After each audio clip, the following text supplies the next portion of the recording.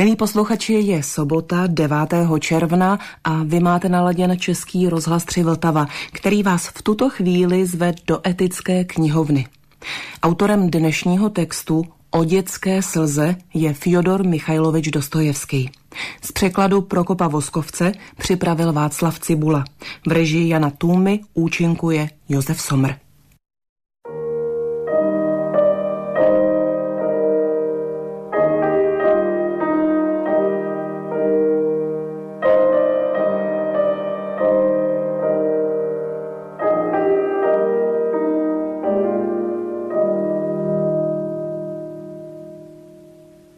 O dětské slze. Otec a matka, velmi ctihodní lidé v úředním postavení, vzdělaní a vychovaní, začali nenávidět svou malou pětiletou holčičku. Byli jí, mrskali jí, kopali, sami nevěděli proč, až byla po celém těle samá modřina. Potom došli k vyšší rafinovanosti, v zimě zamrazů ji na celou noc zamykali na záchod, protože prý si v noci naříkala, že chce na hrneček. Za to jí celý obličej pomazávali výkali a nutili ji, aby to jedla. A k tomu ji nutila matka. Matka.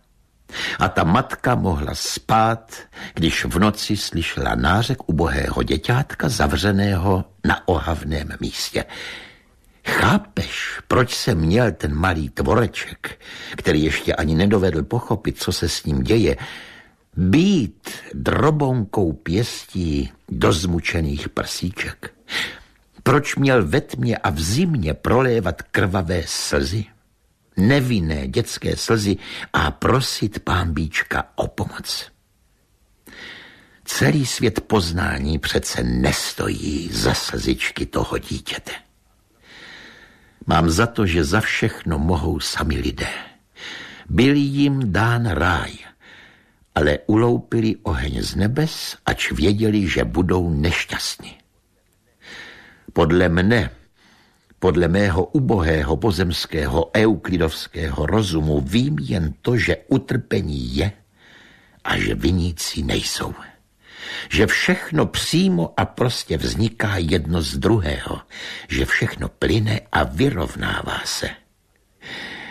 Ale vždyť to je jenom euklidovský žvást, vždyť to vím. A nemohu přece přistoupit na to, abych podle něho žil.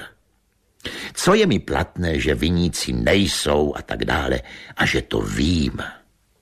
Já chci odplatu, a odplatu ne někde a někdy v nekonečnu, nýbrž už zde na zemi a abych ji sám viděl. Přece jsem netrpěl proto, abych svou osobou, svými zločiny a svým utrpením někomu prostě pohnojil půdu pro budoucí harmonii. Chci vidět vlastníma očima, jak laň ulehne vedle lva a jak zavražděný vstane a obejme se s tím, kdo ho zavraždil. Chci být přitom, až se všichni dozvědí, proč to všechno bylo. Na této touze se zakládají všechna náboženství. A já jsem věřící. Ale jsou tu také děti. Je naprosto nepochopitelné, proč mají trpět děti, proč mají být materiálem a hnojit někomu půdu pro budoucí harmonii. Solidárnost v hříchu mezi lidmi chápu a chápu i solidárnost v odplatě. Ale jaká pak taková solidárnost s dětmi? A je-li skutečně pravda v tom, že i děti jsou solidární s otci ve všech jejich zločinech, pak to ovšem není pravda z tohoto světa. A pro mne je nepochopitelná. Snad se opravdu stane, že dožiju-li se té chvíle, nebo budu-li vzkříšen, abych ji uviděl, já sám pohlédnu na matku, objímající mučitele jejího dítěte a zvolám se všemi, spravedlivý si Bože. Ale já to nechci v té chvíli zvolat. Slzy toho dítěte zůstaly nevykoupeny Ale jak je vykoupit? Což je to možné? Snad tím, že budou pomstěny? K čemu je mi pomsta a k čemu je mi peklo pro trýznitele? Co může peklo napravit, když jsou děti už umučeny?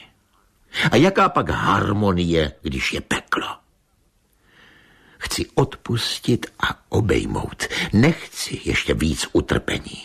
Já harmonii nechci, z lásky k lidstvu ji nechci. Raději se spokojím s nepomstěným utrpením.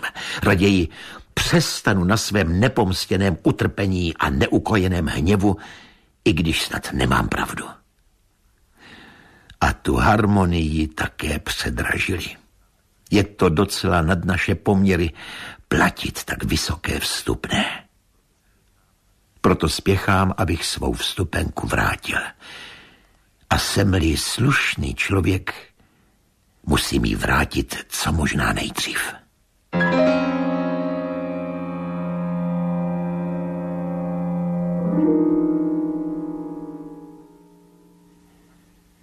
O lásce a odpovědnosti. Bratři, nebojte se lidského hříchu. Milujte člověka i v jeho hříchu. Neboť to už je podobenství lásky božské a je to vrchol lásky na zemi. Milujte všechna boží stvoření, i celek, i písečné zrnko. Milujte každý lístek, každý paprsek božího světla.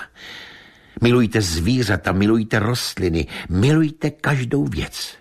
Budeš-li milovat každou věc, postihneš ve věcech božské tajemství. Milujte zvířata. Bůh jim dal počátek myšlenky a pokojnou radost. Neprotivte se myšlence boží. Člověče, nevynášej se nad zvířata. Jsou bez hříchu, kdežto ty ve své vznešenosti poskvrňuješ zemi svým příchodem na ní a necháváš za sebou ohavnou stopu. Bohužel skoro každý z nás. A zvlášť milujte děti, neboť jsou také bez hříchu jako andělé a žijí, aby obměkčili a očistili naše srdce a jako jakýsi pokyn pro nás. Některá myšlenka člověka zarazí, hlavně při pohledu na lidský hřích, i zeptá se v duchu, mám použít síly nebo pokorné lásky? Vždycky se rozhodni pokorné lásky. Rozhodni se tak jednou provždy a můžeš si podrobit celý svět. Obzvláště pamatuj, že nemůžeš být nikomu soudcem neboť nikdo nemůže soudit provinilce, dokud nepozná, že je sám právě takový provinilec jako ten, který před ním stojí. A že je možná za jeho provinění odpovědný víc, než kdo jiný. Bude-li ti možno vzít na sebe vinu provinilce, kterého svým srdcem soudíš, i hned to učiň a trp za něho sám. Jeho pak propust bez pokárání. A i kdyby tě sám zákon určil za jeho soudce, jednej ve stejném duchu, pokud jen budeš moci, neboť provinilec odejde a odsoudí se sám přísněji, než bys ho odsoudil ty.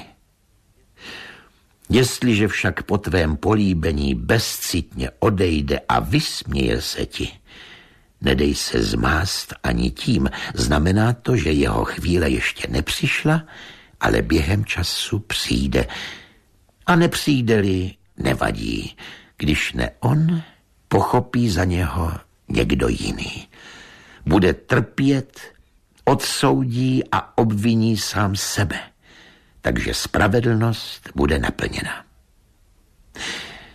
Máš-li kolem sebe lidi zlé a bezcitné a nechtějí-li tě vyslechnout, pros je za odpuštění. Neboť v pravdě i ty si vinen, že tě nechtějí vyslechnout. Jestliže pak tě všichni opustí a vyženou tě násilím a zůstaneš sám, padni na zem zlíbej ji a skrop sezami. A země vydá plot z tvých slz, i když tě v tvé samotě nikdo neviděl ani neslyšel. A setkáte-li se tak věrní dva, je to už celý svět. Svět živé lásky. Jestliže sám zhřešíš a budeš truchlit až k smrti pro své hříchy nebo pro svůj náhlý hřích, zaraduj se za spravedlivého. Zaraduj se, že i když ty jsi zhřešil, on je spravedlivý a nezařešil. Jestliže tě zločinnost lidí pohne k rozhorlení a nepřekonatelnému bolu, takže zatoužíš až k pomstě, boj se nade vše takového citu. Kdybys byl zářil, byl bys osvětlil svou září cestu i jiným a ten, kdo spáchal zločin, nebyl by jej v tvé záři snad spáchal. Jestliže si zářil, ale uvidíš, že lidé nenalézají spásu ani v té záři, zůstaň pevný a o síle nebeské záře nepochybuj. Věř, že jestliže nenašli spásu teď, najdou ji později. Neboť tvá záře nezemře, ani kdybys ty už umřel. Co je peklo? Soudím, že je to utrpení záležející v nemožnosti lásky. Jednou v nekonečném soucnu, nezměřitelném prostorem ani časem, byla dána jakési duchovní bytosti schopnost, aby si řekla jsem a miluji. Jen jednou, jen jednou jí byl dán okamžik činné živé lásky, a proto jí byl dán pozemský život a s ním i doby a lhuty. Ale co se stalo? Ta šťastná bytost zamítla drahocený dar, neocenila jej, nenašla v něm zalíbení, pohrdla jím a zůstala necitelná.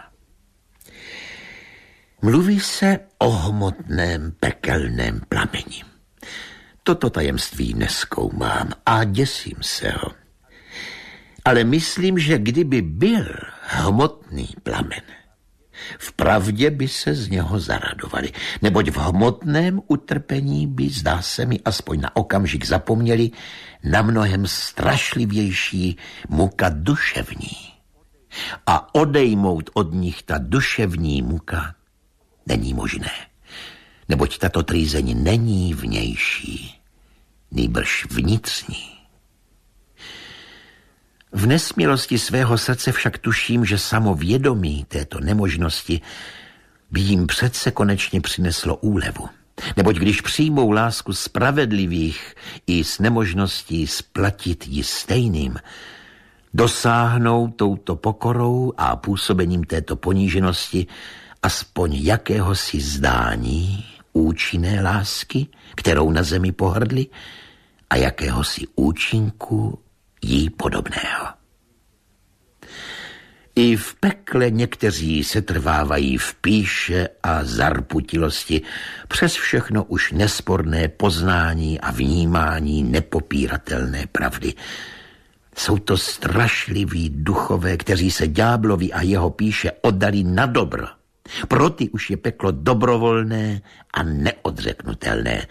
To jsou už mučedníci z vlastní vůle neboť prokleli Boha a život a tím prokleli sami sebe.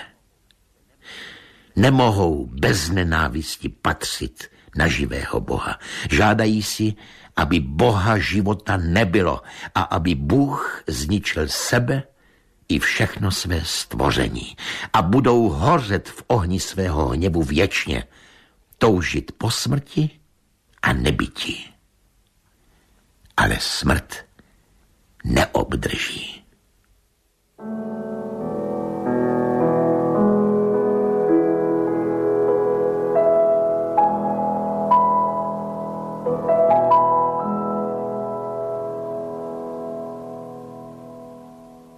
Autorem textu dnešní Vltavské etické knihovny o dětské slze byl Fyodor Michajlovič Dostojevský. Z překladu Prokopa Voskovce připravil Václav Cibula. V režii Jana Tůmy jsme slyšeli Josefa Somra.